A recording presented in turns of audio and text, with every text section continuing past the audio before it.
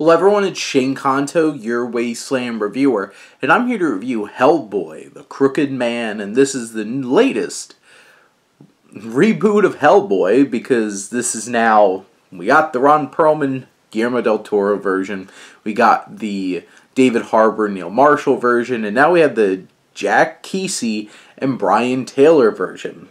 And if you notice, those budgets kept going down, and this one for sure is a stripped down, very lo fi kind of version of Hellboy.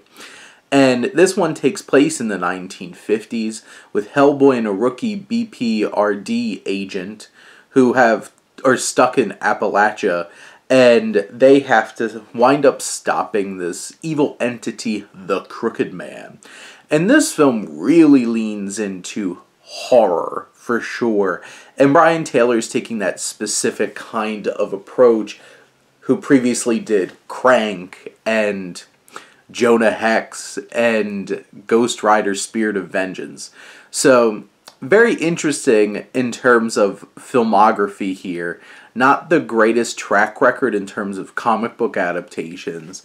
And to be frank, I think this might be the best comic book adaptation out of the Jonah Hex, the Ghost Rider, and this. And this film has some things going for it. I liked Jack Kesy as Hellboy. I think the makeup worked. I think his tone and his approach to it really worked. I thought he was very convincing. He's a lot subtler. He's not as big personality as like a David Harbour or a Ron Perlman, but I think it works in this story, which is much more gritty and intense and creepy. It has the horror atmosphere and it has some really unnerving moments. It also has some like action movie trope moments where it's like now we gotta fight like a gang of uh, gaggle witches um, coming in here and starting up a fight or like these zombie type entities. But I do like the dynamic between Hellboy and Bobby, played by Adeline Rudolph, who's the new agent here. Jefferson White's Tom feels like a needed a needless like character tacked on to make a connection to the local story going on. And there are some good supporting characters like Joseph Mar- uh, Marcell plays a reverend that winds up being looped into this whole thing, and it's Geoffrey from the Fresh Prince of Bel Air.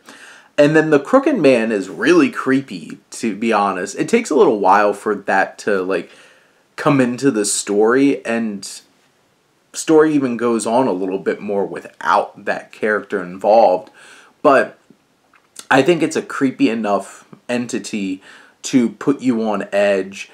The tricky thing about this film is so much of the plotting and narrative it's just all over the place and there's it's thrown so much at the wall that sometimes you just have no idea what the hell's going on and you're just like well it's creepy and hellboy's here the crooked man's creepy so that's going for it but i have no idea what the hell's going on and some of it feels like overly overdone like mythology and stuff like that it tries to be a little too complex in terms of this whole mythos around the crooked man and this rural place.